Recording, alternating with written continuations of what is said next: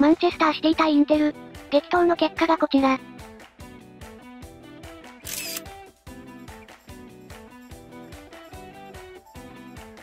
マンシティとインテル、互いに譲らず。一作期のチャンピオンズリーグ決勝カード再現は00ドロー。開幕から大爆発ハーランドの100ゴールは持ち越し。してインテルは本当に決勝レベルの試合やったな。予選1試合目でこんなカード組まれる両チームたまらんな。インテルってほんと強くなったわ。インザーギ弟って優秀なんやな。インテルはマンシティ相手にアウェイで引き分けは勝ちに等しいからね。狙い通りだろうな。インテルの実質勝利。ミラノダービーに備えて回復してな。インテルもしてもいいチームでいいゲームだった。インテルにタレミパリサンジェルマンにガンか。アジアも所属クラブレベル上がってるな。インテルは本物。こいつはマジで強い。